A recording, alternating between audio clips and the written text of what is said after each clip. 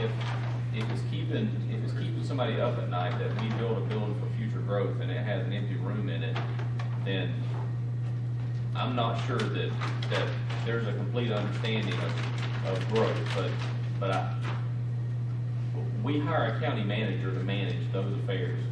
And I think that if, if we just say to the county manager, take a look at what we've got and report back to us. Whatever he says is sufficient for me. And. don't And that's, I mean, it doesn't have to be a lengthy process, doesn't need to require, uh, a train, everybody gets on and goes and looks at the buildings, I just, because that, that's, That may not be a concern of yours, it is a concern of mine, I'm not losing sleep, but it, I'll be honest with you, it does deeply bother me when we sink millions of dollars into a building that we heat and cool, and we don't have more than just one office, I mean, we have office after office after office. If you So it- put them all together, you've got Well, let- probably a yeah, third of it, if I- this isn't be an argument, but you know, this is a valid issue, I think, that needs to I think there's a couple of discussed. things that need to be considered. I, We don't need I don't to have have a any, bunch of turf war about it. I don't think have it's any- we really need to discuss. Calm, take a breath. I don't have, I don't have any, I don't have any. Oh, I ain't mad, I'm just, I'm about to say, listen, you know, why wouldn't we wanna do something like that?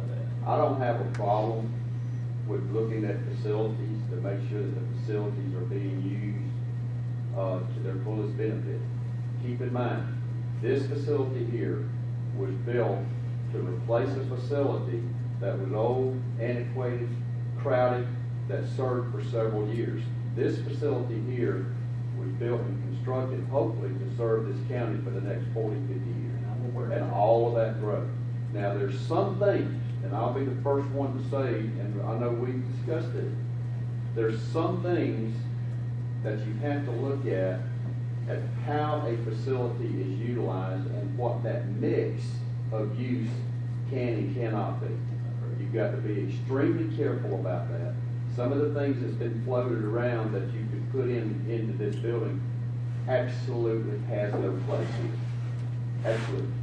Um, so I think that, uh, again, to go back to what Mr. Raines had said, um, that's what we have, part of his duties, Mr. Pritchard's duty, let him look at the facilities, let them do an assessment on it, and give us an update on whether or not, uh, how they're being done, what the spaces are available, and why those spaces are available, and what the future plans are for those spaces. I think that would be a fair enough question. I know we have differences of opinions, and we're gonna have. I mean, you may feel like there's things that don't belong here, I may feel like the things, you know, not any reason why we would want it. But, and I'm gonna use this as an illustration. Throw it out there. It's a matter of public knowledge. When we pay sixty-three thousand dollars a year in rent to the Bank of America for the public defender's office, when we've got a lot of it's space in county buildings, not just this one. I know we got a courthouse, we're gonna do a renovation, know, we still don't know what may go in there. That does bother me. It may not bother y'all, but it bothers me. We all think differently. I don't lay awake at night, but I know it's taxpayers' money that is being utilized. And I think it will behoove us to do an in-depth study of, of all the space that we own, Okay. to see if we can better Anybody want to add anything to it? And if, now, if I'm ignorant, and there has been a space study done before I came on, I mean, I'd like to see it, and that may answer a lot of my questions. I The know- way that the, the, uh, space was determined for this was based on, uh, space needs analysis that was conducted prior to the design of the building.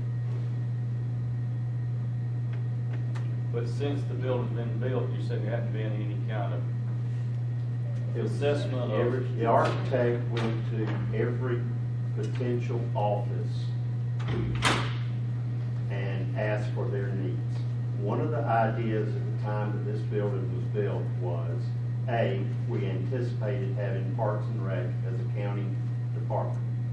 B, we anticipated fire department's administrative staff being located here rather than where they are. We changed that.